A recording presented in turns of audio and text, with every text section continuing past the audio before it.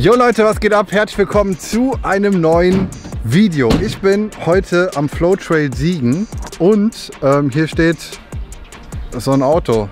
Ich weiß nicht, kennt ihr das Auto? Hier ist so böse Onkelskram drauf und so. Sieht ein bisschen gefährlich aus, rote Felgen. Und da ist ein besonderes Fahrrad drin. Denn ähm, der Thomas hat heute ein Fahrrad mitgebracht, Leute. Ähm, das ist so ein, ja, ich weiß gar nicht, wie man das nennen soll. Auf jeden Fall ein richtiges E-Bike Monster. Ich bin richtig gespannt, ähm, was er da gleich auspacken wird. Wir müssen jetzt gleich noch ein paar Pedalen drauf machen und dann gibt es erstmal einen kleinen Bike-Porn. Dann erzählen wir uns euch ein bisschen was davon.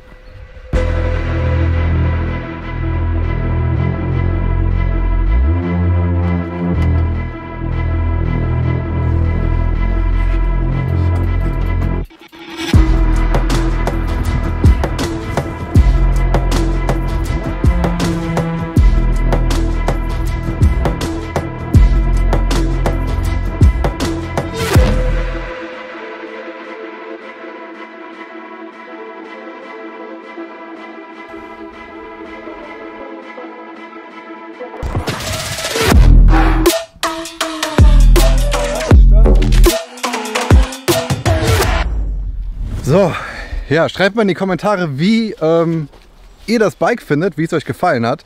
Ähm, ich weiß nicht so viel über das Fahrrad, aber der Thomas weiß da mehr und der wird euch jetzt so ein bisschen erzählen, was da Sache ist mit. Hi, ich behaupte mal, so ein Fahrrad kennen nicht viele von euch. Es ist ein M1, eine Firma, die schon unglaublich lange im Monocoque äh, tätig ist. Äh, wenn ich das Fahrrad beschreiben müsste, vielen von euch helfen ja immer so Autovergleiche. Das ist für mich der Porsche Cayenne S unter den E-Bikes.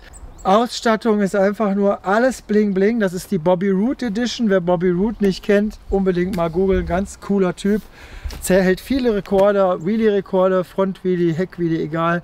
Mit 120 km/h Wheelie, alles mögliche. Ganz cooler Typ. Ähm, das Bike hat überall bling bling.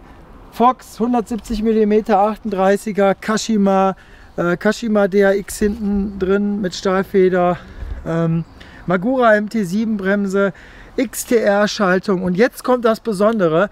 In diesem Fahrrad sind, ist kein klassischer Yamaha, Brose, Shimano, irgendwas Motor drin, sondern ein TQ, dieser Motor, der komplett rund aufgebaut ist mit einem einzigartigen Getriebesystem etc.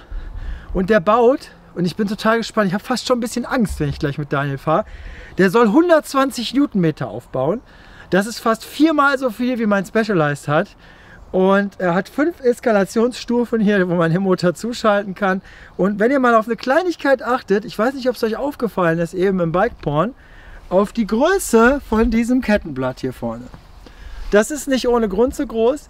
Das Ding gibt es auch in drei Versionen. Das hier ist die normale Pedalic-Version mit 250 Watt, dann gibt es das mit 520 Watt, dann fährt das bis 45 km/h in der S-Pedalic-Version. Und jetzt kommt das Besondere, das M1 gibt es auch noch in der R-Version als R-Pedalic Open. 920 Watt mit 70 Berg rauf, kein Problem, aber natürlich ganz hart an der Grenze der Illegalität war, wo will man mit dem Ding noch fahren. Wir testen das normale und ganz wichtig, das muss ich unbedingt sagen, Mega fettes Danke an die E-Bike-Welt in Olpe. Viele kennen es als Emotion Olpe. Jürgen und Sebastian, dass wir dieses Fahrrad hier testen dürfen, weil das ist ein Fahrrad, was über 11.000 Euro kostet. Das kann man ruhig mal so sagen. Das, ist nicht normal, dass wir das fahren dürfen. Die haben die noch auf Lager. Also wenn ihr einfach mal eine E-Bike sucht, was wirklich Power hat und was keiner fährt, ähm, dann fahrt doch einfach mal zu Jürgen und Sebastian Emotion in Olpe. Der Daniel packt euch den Link von der Homepage mit der, mit der Wegbeschreibung alles rein. Und dann könnt ihr da das M1 selber mal, weil das Ding muss man erleben. Das ist äh, äh, einfach ein Wahnsinns-E-Bike. Wie gesagt, sucht ihr was, äh, wenn ihr einfach aus der Masse raustreten wollt. Und wenn vielleicht Geld keine Rolle spielt, dann ist das euer Bike, definitiv. Ich bin jetzt gespannt mit Daniel, wie das Ding auf dem Trail funktioniert optisch aussehen, Teile und so ist schon mal mega. Ne? Also matt schwarz-gold, besser geht's fast nicht. Äh, Gruß an Steve. Ich denke, optisch gefällt dir das Rad bestimmt. Ne? Halt Gold. Ne? Ähm, gut, jetzt ab aufs Bike. Liebe Leute, erstmal erster Apfel hier mit dem Monster. Ich bin mal gespannt. Fahre die ganze Zeit natürlich volle Power.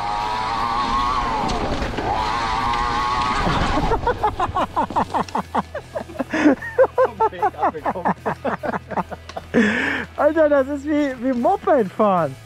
Ey. Also ich mache erstmal hier, liebe Leute, ich muss leider wieder zurückrudern. Ich mache mal zwei Stufen runter. Das ist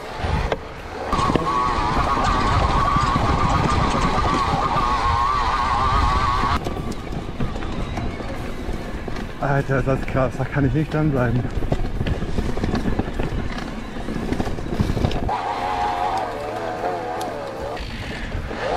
Also liebe Leute, wenn ihr dieses Video guckt, der Sound fühlt sich an, als ob man so eine E-KTM fährt. Ich bin jetzt auf Stufe 3 und fahre ohne Last eigentlich. Sobald ich jetzt reintrete, ja, bin ich innerhalb von drei, vier Tritten auf den 25 km/h. Wow. Absolut genial. Also wer ein E-Bike mit Power sucht, äh, das ist es Leute. So, erste Abfahrt hier im Flow Trail mit dem M1 Spitzing Bobby Root Edition.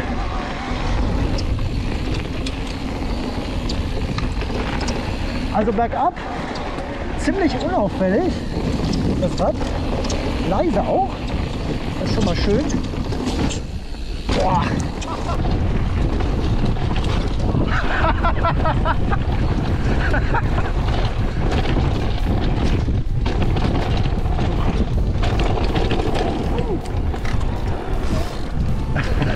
Der Daniel lacht hinter mir.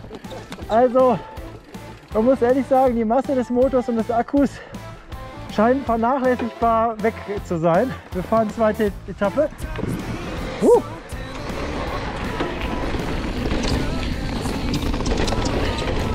Da hier der erste Double quasi. Huhu.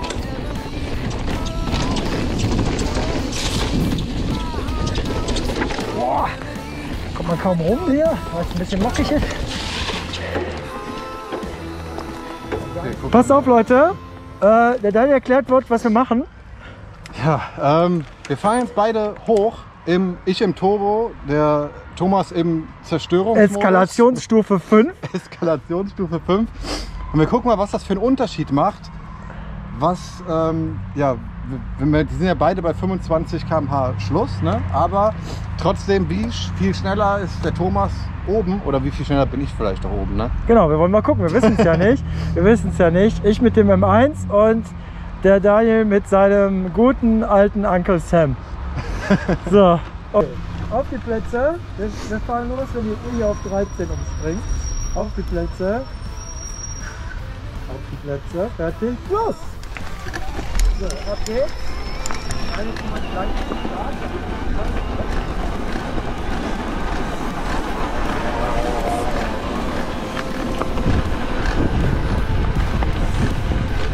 Kann nicht sein.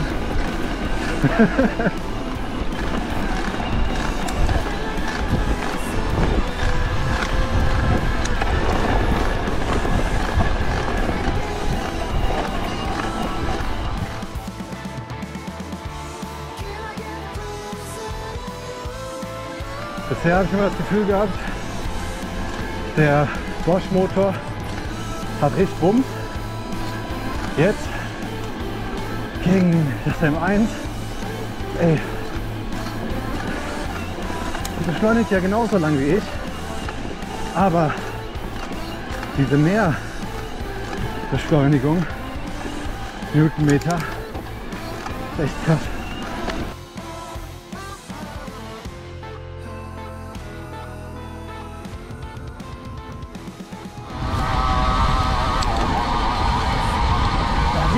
Ziemlich genau. Wir sind oben. Okay. Jetzt gucken wir mal, wie lange wir auf Daniel warten müssen. Das wird jetzt spannend. Puh.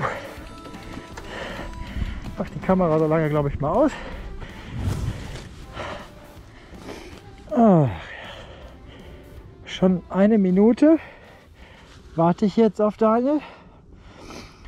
Da kommt er. Hat den Helm ausgezogen. Okay.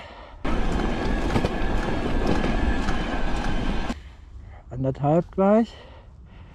Jetzt kommt er hier mit Speed drauf und wir gucken, was wird er für eine Zeit schaffen. Was wird er für eine Zeit schaffen? Ja, ja, ja, ja, ja, ja, ja. 21,20. Sehr gut. Ich musste nur zwei Minuten auf dich warten. Ah, ich habe richtig Gas gegeben, ne? Ich auch. Alter, ich bin voll fertig. Ja, ich habe tatsächlich ein bisschen Gas gegeben, aber ich sag dir, Daniel, sowas bin ich doch nicht gefahren. Du bist entspannter hochgekommen, aber ne? Ja, aber der, ey, der dreht echt zornig am Gas. Ne? Also ich würde dir jetzt empfehlen für ein Uphill auf Stufe 3, das reicht. Wo sehe ich So. das hier, dass hier Stufe 3 steht? So, jetzt fährst du natürlich vor. Oder, ah, nee, Quatsch. Soll ich vorfahren? Was Fahr du? ruhig vor. Ich fahre ich fahr jetzt erstmal ganz langsam und entspannt hier. So, bisschen Spaß heute. Bisschen Spaß heute hier. M1 Spitzing Bobby Route Edition. Und ich mal noch ein bisschen gucken.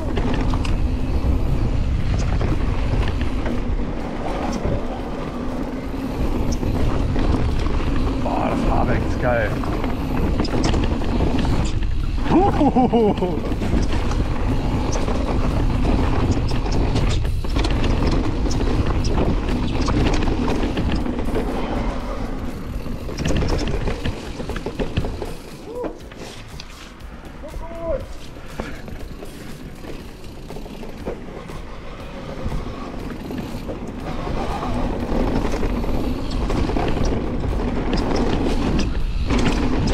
Das schön weich hinten.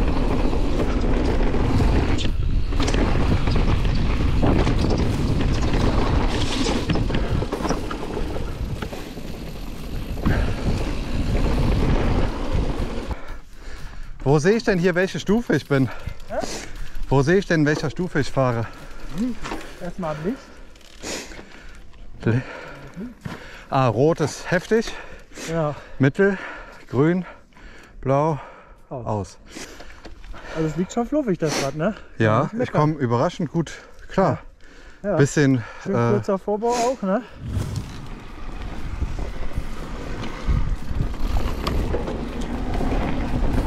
Boah,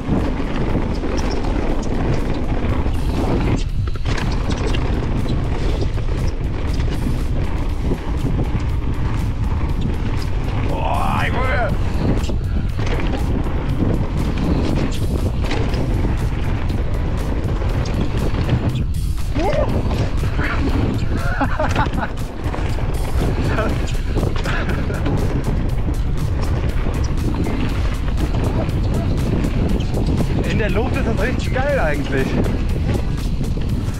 Beim Drop bin ich gespannt, ey. Warum? Ja, weil es schwerer ist zu bewegen, ne? Ja, aber das ist eigentlich easy. Bitte, bitte, bitte, bitte durchziehen.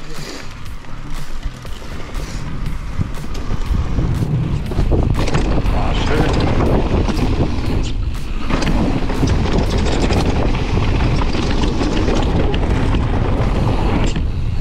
Wuhu! Alter.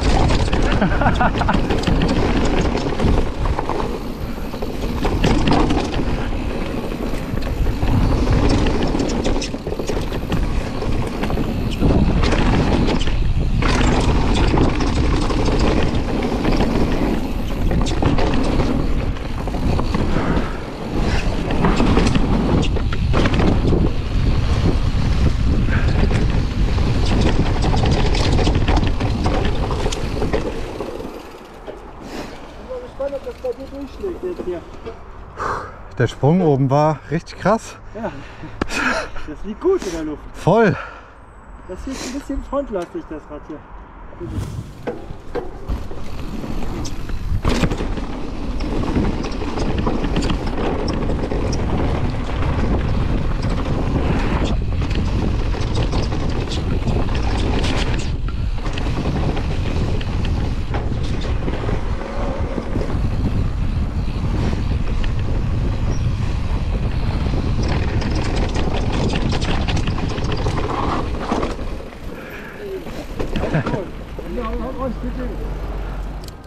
So Leute, machen eine kleine Pause. bin gerade ähm, ja, die erste Runde hier mit dem M1 gefahren. Und es ist echt cool. Also bergauf war ja klar, dass das äh, ja, genau mein Ding ist. Ne? Ohne Anstrengung bergauf fahren. Ähm, aber bergab habe ich mich auch überraschend schnell wohlgefühlt. Erinnert euch an die Zeit mit dem Fokus. Ne? Und ähm, hier ging echt super gut. Also das Fahrwerk ist richtig, richtig gut. Hat mir richtig gut gefallen. Auch in der Luft macht das richtig Spaß. Ähm, ja, Mallet ist es auch, wie ich es jetzt auch im Fokus gerne habe. Ja, also ich weiß gar nicht, äh, ich sagen soll. Auf jeden Fall cool. Danke an Emotion Olpe, dass wir die Möglichkeit hatten, das Ding mal zu fahren. Weil ich glaube, sonst wahrscheinlich nie. Jürgen, mach Kaufvertrag fertig, hast du gehört, ne? Willst haben, ne? sonst hätte ich wahrscheinlich niemals so ein Fahrrad gefahren. Ja, ähm, ich glaube, wir fahren jetzt noch ein paar gemütliche Runden. Ich habe auch nicht mehr ganz so viel Zeit. Und ähm, ja, dann melden wir uns gleich nochmal zum Schluss. Ah, Herr Thomas sagt, fahr ihm einfach hinterher, ist immer eine schlechte Sache.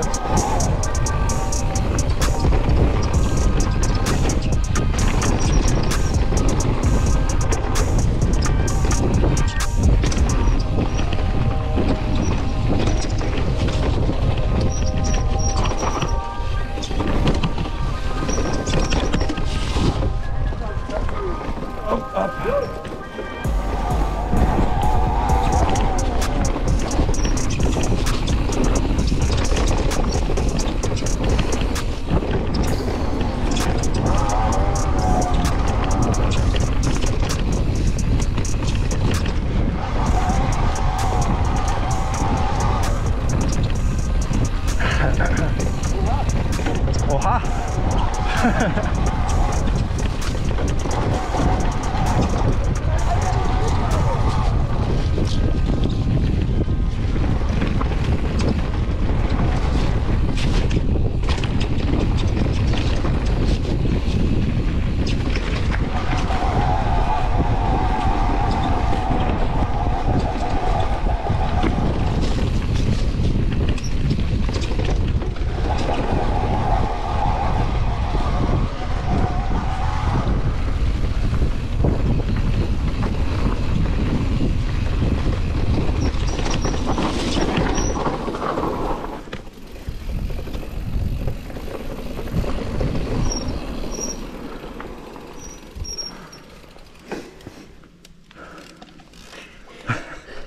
guten Wendekreis, ne?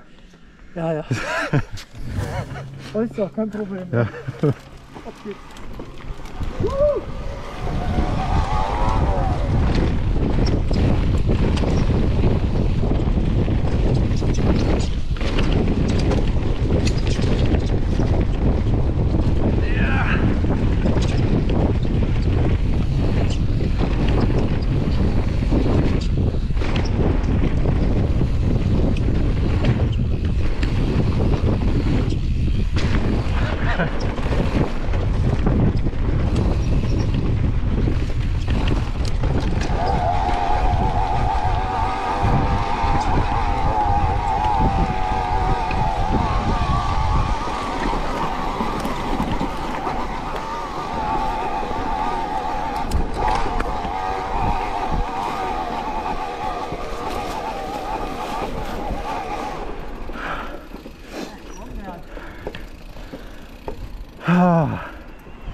Cool.